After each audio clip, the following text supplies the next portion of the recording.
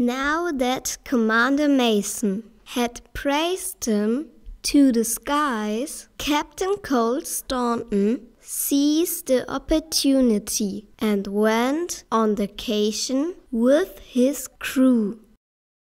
You're vacationing at the Starfleet's expense?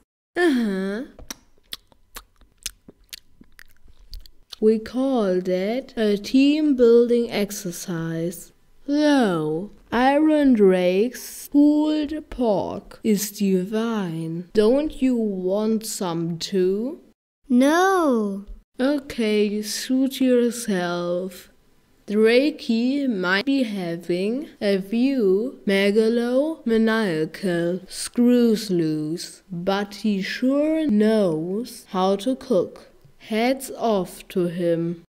A team building exercise on Paradise 4, the Pleasure Planet.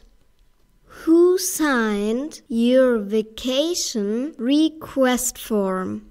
Lola, you are such a party pooper. My taste buds are exploding like fireworks, and you are inquiring about vacation request forms. Tell me, who okayed this nonsense? Bartholomew, who else? Unlike you, he's not all work and no play. Now, don't be cross. This will be awesome. We'll have the time of our lives.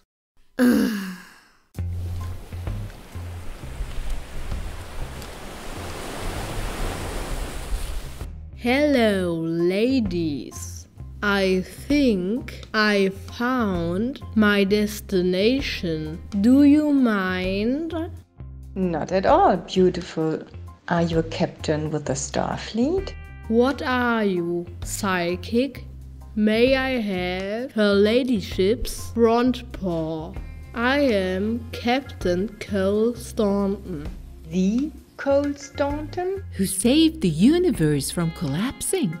Yep, that's me. But what is more interesting, who are you? I'm Zambak. I'm Rosu. Zambak and Rosso. You mean business. Your flowery names make me all hay fevery. I hear hooves. The queen cometh. Oh, wow. Is this your girlfriend? A man can dream, eh? Hey, hey, hey! And you're telling me a crew vacay is a waste of time. I've learned plenty already. And when will your muscles of steel be making an appearance? Soup.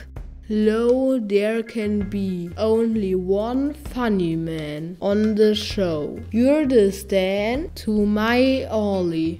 You're the mustard to my ketchup. Speaking of which, what is that dripping from your shoulder? Looks slimy to me. Ew! Oh, you've already met him. Who? The slime ghost of Paradise 4. The slime ghost of Paradise 4 sounds like the title of a B movie from the 1950s. Do not joke about him. You never know where he is. And what he hears. Do not leave your quarters at night.